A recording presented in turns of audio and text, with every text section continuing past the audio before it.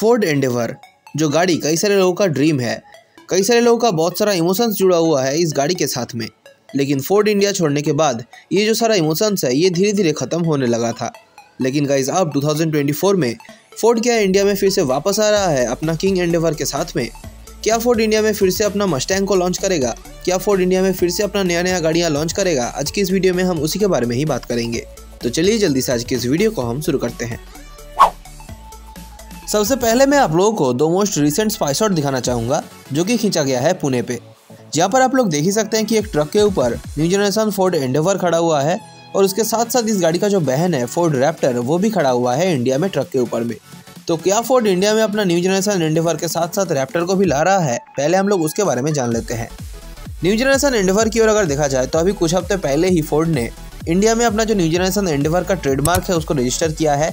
जो कि बहुत हाईलाइटेड न्यूज़ था और ये होने के बाद बहुत सारे लोगों का जो इमोशंस है वो वापस से आने लगा था। तो एक्चुअली फोर्ड इंडिया में अपना जो इंडिवर न्यू जनरेशन है, उसको ला सकता है। फ़िलहाल तो यही एक्सपेक्टेशन है हम लोगों का। अगर ये गाड़ी इंडिया में लॉन्च होता है तो फोर्ड इंडिया में इस गाड़ी को सीवी यूनिट के थ्रू सेल करेगा। सीवी मतलब कंप्लीट बिल्डअप यूनिट और इसीलिए इस गाड़ी का जो इंडिया में प्राइस होगा न्यू जनरेशन एंडेवर का, वो लगभग 55 टू 60 लाख के आसपास हो सकता है एक शोरूम और ये गाड़ी इंडिया में लॉन्च होने के बाद मामूली सा बात है फॉर्चूनर को डायरेक्ट टक्कर देगा। इंजन ऑप्शन की ओर अगर देखा जाए तो न्यू जनरेशन फोर्ड एंडेवर के साथ में आपको टोटल तीन इंजन ऑप्शन मिल सकता है।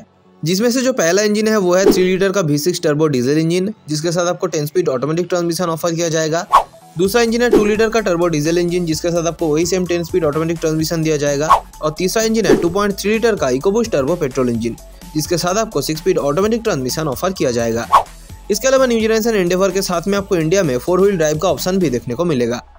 नेक्स्ट जो मेन गाड़ी है, वो है फोर्ड रैप्टर जिस गाड़ी को फ़िलहाल कल ही इंडिया में देखा गया है पहली बार ट्रक के ऊपर में। इस गाड़ी का अभी तक कोई भी पेटेंट वगैरह इंडिया में रजिस्टर नहीं हुआ है, लेकिन ये गाड़ी इंटरनेशनल मार्केट पर एक बहुत ही ज़्यादा पॉपुलर गाड़ी है और इंडिया में अभी तक ये गाड़ी नहीं मिलता था। तो अब शायद से फोर्ड प्लान कर रहा है इस गाड़ी को इंडिया में भी लॉन्च करने का। अगर ये गाड़ी इंडिया में लॉन्च होता है तो फोर्ड इस गाड़ी को इंडिया में सीवी यूनिट के थ्रू ही सेल करेगा। कोई भी यहाँ पर लोकली असेंबल नहीं होगा इस गाड़ी का। एंडेवर के साथ साथ सीवी यूनिट के थ्रू ही ये गाड़ी इंडिया में आएगा। और प्राइसेस जो है वही सेम होगा, लगभग 50 टू 55 लाख के आसपास हो सकता है। और ये गाड़ी लॉन्च होने के बाद इंडिया में डायरेक्ट कंपटीशन देगा टोयोटा हाइलक्स को। इसके अलावा फोर्ड रैप्टर के साथ में आपको इंडिया में फोर बाई फोर और फोर बाई टू का भी ऑप्शन देखने को मिल जाएगा। नेक्स्ट जो मेन गाड़ी आता है, वो है Ford Mustang Mach E Ford Mustang जो है, वो इंडिया में फोर्ड का एक बहुत ही ज़्यादा आइकॉनिक गाड़ी था। और गाइज़ अब शायद से फोर्ड इंडिया में अपना जो मस्टैंग का मैक ई वर्सन है मतलब ई वर्सन है, उसको भी लॉन्च करने का प्लानिंग कर रहा है।